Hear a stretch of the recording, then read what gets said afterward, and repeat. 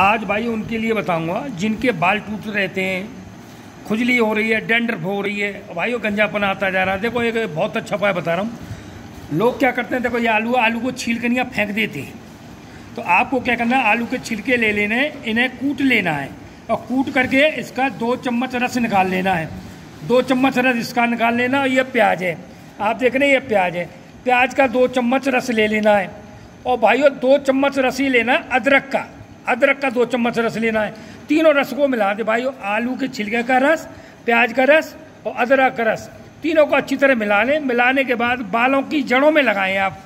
और इसे भाइयों, एक घंटे के लिए लगाने दें। और इस प्रक्रिया को रोज़ाना एक घंटे के लिए करना, उसका ठंडे पानी से धो दें। आप देखेंगे, आपकी बालों की समस्या पूरी तरह ठीक हो जाएगी। बाल टूटना बंद हो जाएगा, बालों की खुजली ठीक हो जाएगी, बालों में डेंडपती पूरी चली जाएगी। और जहाँ भाइयों बाल नहीं आ रहे हैं, उन पर आप लगातार लगाएँगे, आप देखेंगे, दो तीन महीने में वहाँ बाल आना भी शुरू हो जाएगा। भाई, मेरे वीडियो अच्छा लाइक करिए शेयर करिए फॉलो ज़रूर करिए, धन्यवाद।